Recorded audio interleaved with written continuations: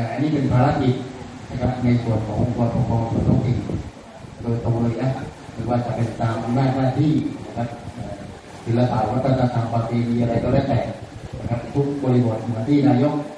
ประธานชมรมองค์กรปกครองส่วนท้องถิ่นนะครับอกว่านายอำเภออ่าดีไหมนะก็ในส่วนนี้นะครับ เราต้องมาช่วยกันแต่ว่ามันต้องใช้เวลาที่ถามว่าเขาอยู่ได้ นะครับกรณีเนี้ยจนกว่าจะหมดนะครับขอบคุณครับพอมีเอ่อครูกี่คนเราได้ตอบไปหมดแล้วนี่นะในส่วนนี้รับผิดชอบประจำตำบลอยู่แล้ว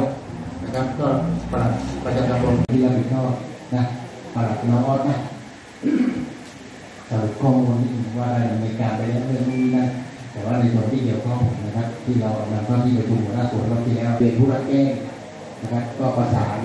กับหัวหน้าฝ่ายดูนะครับ ไม่ว่าจะเป็นเรื่องของคนไม่มีบ้านอะไรก็แล้วแต่นะครับ ในส่วนนี้เราก็ต้องไปดูนะครับสภาพแล้วก็บริบท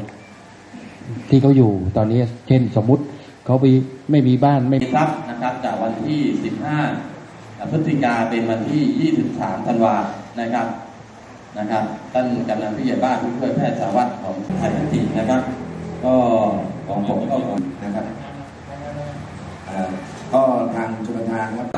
ท่านเลยนะครับปกครองท้องที่ผู้บริหารท้องใหญ่ฝ่ายผู้บริหารต้องมีนายกนะครับเอ่อแต่ตัวแทนกระบอกเสียงนะครับ เพื่อที่จะใช้เอกลักษณ์ของผู้ใหญ่แพทย์ผู้ช่วยสารวัตรของนายกเก็บปานร่วมก็เป็นการตามคุณอย่าไปทำขอที่นายกนะครับผู้ใหญ่บ้านไม่มีงบประมาณท้องถิ่นนะครับคุณอย่าไปเลือกที่รักมักที่ยืนเยียวยาไปได้ทั้งสี่ห้าวันไปหาถามว่านะครับ